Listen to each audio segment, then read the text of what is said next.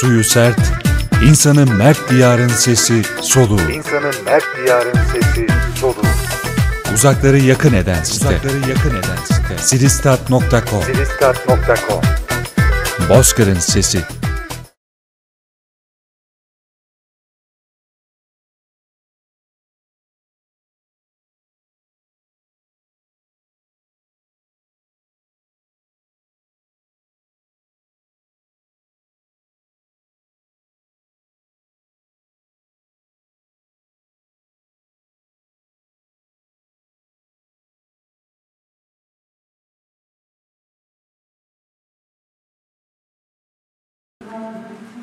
Hocam sizin şimdi e, halk eğitimde el sanatları kursunuz varmış diye biliyorum. Evet, biz burada el sanatları kursu veriyoruz. Ee, Her alanda e, eğitim aldık. Ee, İki sene boyunca eğitim gördüm. Ee, Elimden geldiği kadarıyla öğrencilere yardımcı olmaya çalışıyorum.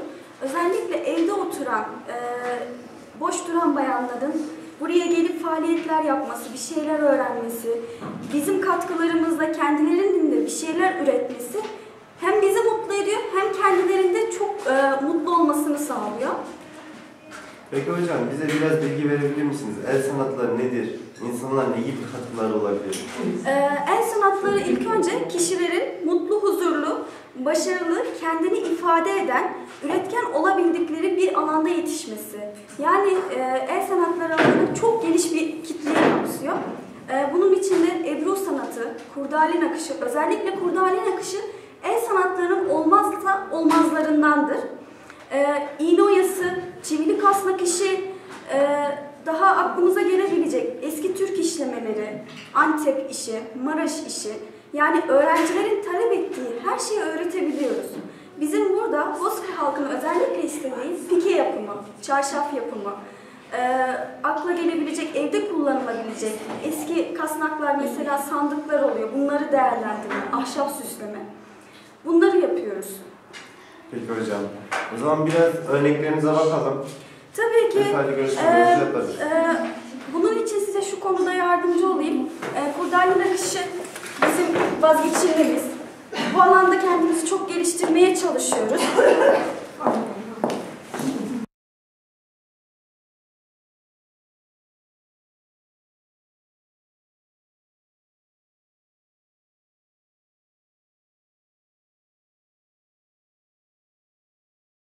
Günay Hanım, gerçekten döktürmüşsünüz maşallah. Teşekkür ederiz, sağ olun. Şimdi biz erkek olduğumuz için pek anlamayız. Şimdi bu nedir? Bize bir açıklama yapar Bu mısınız? pike takımı. Ee, Çift kişilik. Bir, ete, bir etek, iki yastık, bir pikesi. Daha bitmedi. Bu şekilde de süslemeler yapacağız. Peki Günay Hanım, bu ortalama kaç günde bitiyor? Bir haftada bitiririz. Bir hafta bile 3-4 günde bitirdik. Ne kadar hızlısınız yani. Gerçekten tebrik ediyorum. Peki başka... Maddi değeri ne kadardır bunun? Bunun kullandığımız kurdaleye bağlı ipek olan biraz pahalı. 50 metresini 7-8 milyona 10 milyona aldığımız kurdalelerimiz var. Metresi 50, top 50 Yani ama normal 500 liralık 500 liralık olan da var ama onları kullanmadık biz. Hep majestik ipek dediğimiz kurdaleyi kullandık. Ki bizim zaten şu anda en büyük sıkıntımız Malzeme. e, malzemelerin bir anda artış fiyatları. Şu anda ipe zam geldiği için malzemelerimizde yani önceden aldığımız 4 milyona topunu aldığımız kurdaleler şu anda 6 milyon oldu. Bir de bu burada yok. Bozkır'da yok. Evet, Bozkır'da olmamasının sıkıntısını yaşıyoruz. Ha, bunun getirdiği ama şöyle bir avantajımız var. Tasarım yeteneği. Evdeki olan malzemeleri değerlendiriyoruz. Değerlendirdik, evet. Örneğin şu bohçamız mesela. Ee, bunun için birçok bu modeli her alanda kullanıyoruz. Şu malzemeler evde bulunan malzemelerin değerlendirilmesiyle ortaya çıktı. Yani hem tasarım gücü hem yetenekte geliştirme sağlıyor bize. Özellikle kursiyerlerim için hani Evet, bir usta öğretici hani sadece öğrendikleriyle kalmıyorlar. Usta öğretici e, olabilecek kapasitede Biz, ben yetişiyorlar. mesela kendi adıma ben geçen yılda geldim. Bu iki başlayan arkadaşlarımıza e, çok bu konuda destek oluyoruz. Fikir veriyoruz yani. Onlar da sağ olsun e, bizleri kabul edip yapıyorlar söylediğimiz her şeyi. Öyle. Yani model Memnunuz yani ama işte sadece bizim sıkıntımız malzeme. Gerçekten az olanaklarla yapabildiğinizin Evet. en iyisini yapmaya çalışıyorsunuz. Evet.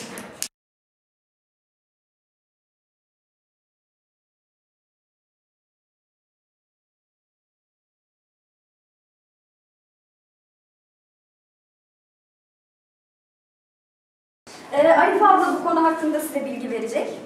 Merhaba ablacığım. Merhaba ablacığım. Ablacığım sen vallahi döktürmüşsün ya. İlk işim ilk öğrencim. Bunu makinede mi yapıyorsunuz? Evet makinede yapıyorum. İlk, ilk yapışım yani makinede. İlk yapışınız. Daha önce hiç yapmadınız. Yapmadım ilk öğrencim. Abla şimdi biraz bilgi versene bize bu konuda. Hangi alanda kullanabileceğini. Hangi alanda kullanabiliyorsunuz bunları? Bu bebek yastığı. Şimdi büyük, bunu bitirince büyük yastık yapacağım. Bebek yastığı. Bunu sadece yastıkların üzerine örtmek Evet, için kullanıyorsunuz. sadece yastıkların üzerine örtme. Başka hangi alanlarda kullanabiliyorsunuz bunları? Nerede Bebek, yaparsınız? bebeklere yatma. Başka bu şey, büyük yastık yapacağım. Buzdolabı örtü, mutfak takımı yapmayı düşünüyorum. Bunu bitirince. Hocam peki bunların malzeme sıkıntısı oluyor mu burada? Yani malzeme sıkıntısı diğer işlere göre biraz daha maliyetleri düşük bunların. Ee, hani en azından el- elde olan iplikleri değerlendirebiliyoruz. Bizim bunları e, şu anda hemen hemen tüm Bozkır'da, tüm bayanların evinde bunlardan vardır. Biz yeni malzeme almaktansa bu renkler mesela evde bulunan renkler bunlardan renkleri uyumlu hale getiriyoruz, değerlendiriyoruz. Yani yeniden malzeme almaya gitmiyoruz. Ya en büyük avantajımız bu zaten. Yani gelen bayanların da burayı tercih etmesindeki en büyük sebep bu.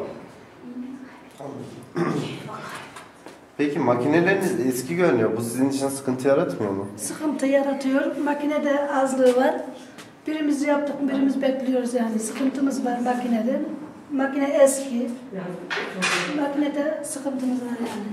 Ya biraz yaşıyoruz sıkıntı ama kendi hani e, çabalarımızla makinelerin özellikle bozulup e, kendi öğrencilerim uğraşıyorlar. Yetişemedikleri, yapamadıkları yerler, yerlerde ben devreye giriyorum. Şu anda Arife abla bunu e, bozulup tekrar yapmasıyla makineyi neredeyse ustası oldu artık. Peki hocam size hiçbir ödenek ayıran yok mu? Böyle yardım edelim hocam gel yapalım bu işi değil yok mu? Ya sponsorumuz şu anda sponsor hani e, halk tarafından bir sponsorumuz yok şu anda. O zaman- İnşallah bu sesimiz olur. O zaman hocam diyoruz ki Bozkır Merkez, e, Bozkır Halk Eğitim Merkezi, El Sanatları hocamıza ve ekibine bir sponsor arıyoruz. İnşallah.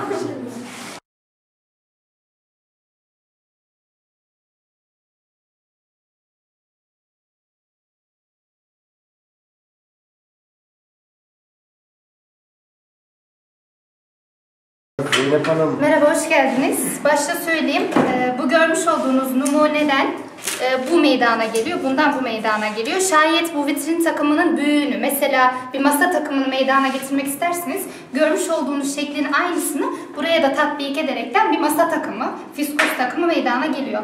Şimdi soracak olursanız ki bu boncukları nasıl meydana getirip yapıyoruz? Bunun özel bir tutkalı vardır. Bu tutkalları bu dört köşe olan kara yerlere dört köşe bir şekilde yapıştırıp boncuklarla bu şekilde çok güzel bir fiskos takımı veya bir e, şömente tab- tablosu hasıl oluyor. şimdi şöyle baktığım kadarıyla bunu bundan çıkartmak neredeyse imkansız gibi. Bizi erkeğiz diye kandırmıyorsunuz değil mi? Yok hayır Öyle bir şey yok. estağfurullah. Gerçekten mükemmel. Akşam sana bir. Peki Yani mesela şöyle bir mantıklı düşünmüş olsanız kimsenin e, böyle çividen meydana gelen kasnakta böyle bir fiskos takımı veya bir vitrin takımının meydana gelmesini hayal bile edemez, tasavvur bile edemez. Lakin görmüş olduğunuz üzere böyle bir e, güzel bir şeyler meydana geliyor. Hediyeliktir veya vitrin tablosudur, e, masa örtüsüdür. Zamanımızda çok kullanılıyor böyle şeyler. çok güzel. Bu çivileri kendiniz mi çaktınız? Onları metreye göre, metrekaresine göre ayarlıyoruz ve çakılıyor. Peki merak ettiğim bir şey var. Bunları Buyurun. yaptıktan sonra bu uçlarını yakıyor musunuz? Ne yapıyorsunuz? Makasla kesiyoruz. Şuralardan, şuralardan makasla kesiyoruz. Çıkartıyoruz. Arkasına onu tekrar yapıştırıyoruz. Tesavi bir şekilde, eşit bir şekilde kesiliyor. Çok kullanım alanı çok geniş ve çok rahat bir kullanım alanı var. Yani şu anda danteli kapattı diyebiliriz. Yani şu anda dantel artık kullanılmıyor. Onun yerine e, boncuk takımları, çivili kasnak takımları daha çok tercih ediliyor. Günümüzün zaman bu. Evet. Yeni Evet öyle diyebiliriz. Çivili kasnak modellerimiz bu kadar. Ee, şu anda yaptığımız kumaş boyama çalışmamız var. Yalnız kumaş boyama çalışması e, yarım kaldı bizim. Öğrencimiz bugün biraz rahatsız olduğu için gelemedi. Onunla ilgili bilgiyi de ben vereyim. Kumaş boyama çalışmasının e, alanı yine çok kullanışlı, diğer işler gibi. E, yalnız kumaş boyama e, çalışması yaparken bizim en büyük sıkıntımız yine malzeme bulamama. Kontür bulamıyoruz burada. Kumaş boyasında kullandığımız kontürler var, bulamıyoruz. O yüzden yine elimizde olanları değerlendiriyoruz. Aynı şekilde kullanım alanı çok geniş. Mesela yani kurdale nakışı sevmeyen, makine nakışı sevmeyen, kumaş boyama yapmak istiyor. Onu ayrıca bu köşeye alıyorum. Sınıfta zaten belli köşeler var. Burada kumaş boyama çalışması, çivri kasnak çalışması yapılıyor. Bundan yine çarşaflar, mutfak takımları, oda takımları, her şeyi yapabiliyoruz. Yani istediğimiz her ürünü üretebiliyoruz. Peki hocam, sizin bu kursunuzda hangi yaşlar arasına hitap ediyorsunuz? Şu anda bizim e, 16 yaşından itibaren 45 yaşına kadar, 50 yaşına kadar öğrencilerimiz mevcut. Ben emekliyim mesela. Emekli olduktan Evet, sonra Günay ben ablamız, e, tanıtayım. E, Günay Hanım, emekli hemşire. Kurs neler kazandırdı? Size bilgi versin isterseniz. Çok, çok, ben Bozkır'ı çok, çok iyi tanımıyordum. Geldim, arkadaşım sayesinde kursa başladım. Çok memnunum, çok rahatım. Konya gibi bir yerden geldim ama burada şu anda sosyal faaliyet çok güzel, çok hoşuma gidiyor. Ve bu ikinci senem benim. Devam ediyor. Ya bırakıp gidemediniz. Gidemedim. Yani şu anda Konya'da oturuyor aslında. Aslında- Her hafta sonu Konya'ya gidiyor ama kursu yine bırakamıyor yine geliyor hafta içi. Ne kadar güzel. Evet. Gerçekten Bozkır memleketimiz diye söylemiyorum ama insanı bağlıyor yani. Bağlıyor. Birçok emekli arkadaşımız, abimiz, ablamız hala buradalar. Tabii ki.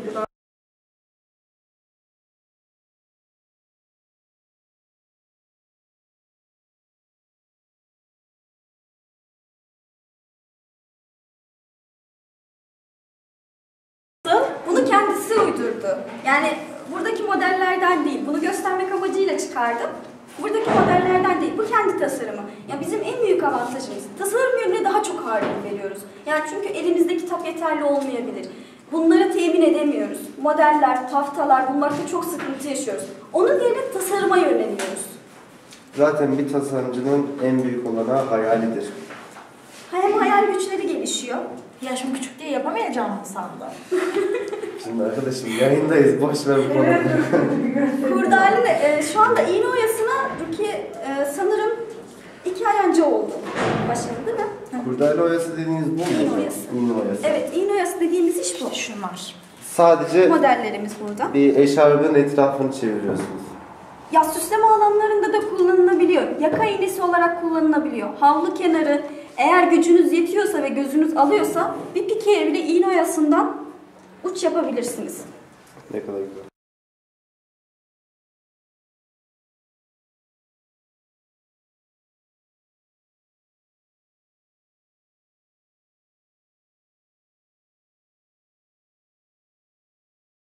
Sizden bu kursun arkadaşlarının da getirdiği olanaklar nelerdir? Mesela ne gibi branşlarda kendilerini başarılı hissediyorlar? Daha çok daha sosyal hayatlarında nelerle uğraşıyorlar? Ya sosyal hayat olarak şimdi şöyle bir e, açıklama yapayım. E, en basitinden Günay Hanım bizim e, geçen sene kursumuza kayıt yaptıran öğrencimiz. Annemin de çok yakın arkadaşıymış. Kurs sayesinde tanıştık, e, samimi olduk. Sosyal çevre olarak birbirimize çok kilitlendik. Ve ben her zaman diyorum, benim arkamda öğrencilerim var ve ben de öğrencilerimin en büyük desteğiyim. Yeter ki burada olsunlar, yapamayacakları, başaramayacakları hiçbir şey yok. Hem ev hayatına yansıyor bu. Boş durmaktansa buraya gelip hani bir şeyler üretiyorlar. Farklı şeylere yönelmiyorlar. Bir şeyler üretme çabasındalar. Hocam siz burada kaç saat ders görüyorsunuz? Biz burada bu sene sabah 8.30'da başlıyor, öğlen 1.30'da bitiriyoruz. Peki toplam kaç saat sizin kursunuz? Toplam e, isteğe göre değişiyor. Şu anda 6 saatinde. 6 saat. Evet. Ne zaman kadar sürdürüyorsunuz kursunu? E, Temmuz'un 3'ünde inşallah bitireceğiz. Haziran'da sergimiz olacak inşallah. Ya Sergi. Mayıs'ın son haftası ya da Haziran'ın ilk iki haftası sergimiz olacak. Hocam peki benim duyduğum kadarıyla ülke çapında bu konularda turnuvalar, yarışmalar düzenleniyor. Çok güzel bir soru. Bunlara katılmayı hiç düşündünüz mü? Ya biz katıldık. Geçen sene e, Majestik Kurdali Nakış yarışmasına katıldık. Yani özellikle gerçekten çok teşekkür ediyorum öğrencilerime. Bu yarışmaya e, katılacağız hocam. Hiçbir şey kazanmasak da biz bu yarışmaya gireceğiz dediler. Girdik, ödül alamadık ama teşekkür belgemizi aldık. yani bu da çok güzel bir şey. Sonuçta katılmanız Kendilerine tabii güvenleri geldi. Hatta yarışmaya katılanlardan biri Arife Hanım'dı. Kendisi üç çocuk annesi. Hem kursa geliyor, devam ediyor hem de bir şeyler öğretiyor. Yarışmaya katıldığın için memnun musun Arife abla? Kendimi geliştirdiğim için.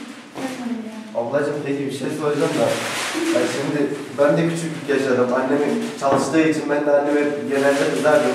Sen, senin çocukların misal demiyor mu? Anne bizimle ilgilenmiyorsun, onlarla ilgileniyorsun diye. Sonra bazen de şeylik fedakarlık yapıyoruz yani. Yani saatlerini ona göre gelesi kadar. Çocuklar Peki. gelesi kadar eve gidiyorum. Peki ablacığım çok teşekkür ederim. Hocam bize söylemek istediğiniz bir şey varsa hemen alalım. Ee, konuşmak isteyen herhangi bir e, isteği olan veya is- bir, bir şey var mı? İsteği olan herhangi bir öğrencim var mı? Ya da şu da olsaydı veya şunu da yapsaydık diye. Zeynep Mesela şöyle söyleyeyim e, başta. Ben e, yani söyleyeyim açık söyleyeyim. Ben iğne tutmasını bile bilmiyordum. Çünkü benim hayatım hep kurslarda geçti. Hafızlıkla veya vaizelikle. E, ama lakin buraya ne zaman başvurdum, ne zaman bir halk eğitimde bir işte Nazan Hoca Hanım var çok güzel dikiş nakış gösteriyor veya el sanatlarıyla alakalı çok güzel bilgi veriyor denilince dedim ben de bir başvurayım belki bir şeyler istifade ederim ve öğrenirim. Nitekim öyle oldu geldim. Ee, şöyle söyleyeyim, e, burada hoca talebe veya hoca öğrenci münasebetinden daha fazla bir e, münasebet var. Bu kardeşliktir. Yani şu anda mesela ben e, ilk geldiğimde Nazan hocam diye hitap ediyordum. Herkesin olduğu gibi. Lakin e, kendisine de söyledim o kadar yakınız ki burada bir aile gibi, e, bir aile meydana geldi sanki. E, yeri geliyor bazen dertleşiyoruz veya bir abla gibi oluyor. Dediğim gibi iğne tutmasını bile bilmezken iki tane havlu, üç tane bohça veya şu anda görmüş olduğunuz gibi çivi e, kasnağından meydana gelen şeylerle işte meşgul oluyoruz, iştigal ediyoruz. Ona çok teşekkür ediyoruz. Bize hakkını helal etsin. Çoğu zaman başını ağrıtıyoruz. Hatta diyoruz sizdeki sabır bizde yok yani. Çoğu zaman çünkü masasında işi olduğu halde kalkıp geliyor ve e, hocam bize yardımcı olur musunuz? Biri oradan kurdele nakışı soruyor, biri oradan çiviyi soruyor, biri oradan ipim yırtıldı ne oluyor? Yani insanın başı dağılıyor. Lakin ona çok teşekkür ediyoruz. Çok sabırlı bizim için. Ben teşekkür ederim. Gerçekten çok teşekkür ederim. Öğrencilerimin böyle düşünmesi beni çok mutlu etti. Kesinlikle evdeki bayanlara da biz buradan sesleniyoruz. Ne olursa olsun aile yuvamıza bekliyoruz. Ee, ne yapmak istiyorlarsa biz burada her imkanı sunuyoruz. Malzeme sıkıntısı bulamadığımız zaman e, eşleri veya işte e, Konya'ya giden hanımlar da aracılığıyla getirtebiliyoruz. Yani bir şeyler yapmak, üretmek varken evde oturmasın kimse. Gelsin. Burası da bir aile yuvası. Burada da bir şeyler üretelim. Değişik fikri olan insanlar vardır. Veya bizden e, daha iyi işler bilenler vardır. Buraya gelelim, gelsinler. Hep birlikte paylaşalım, öğrenelim, değerlendirelim istiyoruz. Hocam peki teşekkür ederiz. Arkadaşlar size kolay gelsin. Teşekkür ediyoruz. Müsaadenizle hocam. Daha Çok teşekkür ederiz. Görüşmek üzere. Görüşmek üzere. Teşekkürler. Ayaklarınıza sağlık.